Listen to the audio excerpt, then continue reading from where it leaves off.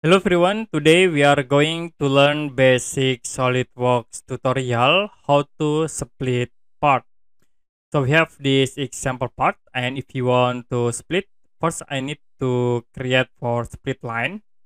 Can select at this top face and then use line tools to create line like from this point into here. Click OK to apply.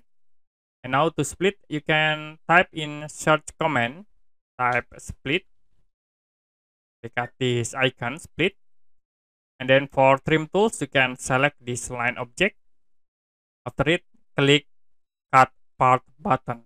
So it will be automatically cut. This and you can select this object also this object. The next click ok.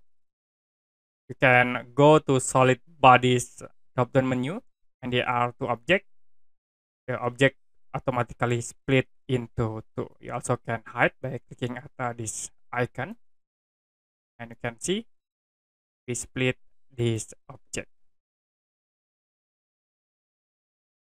Okay, that's it for basic SolidWorks tutorial how to split part. If you have any question about tutorial, you can comment below this video.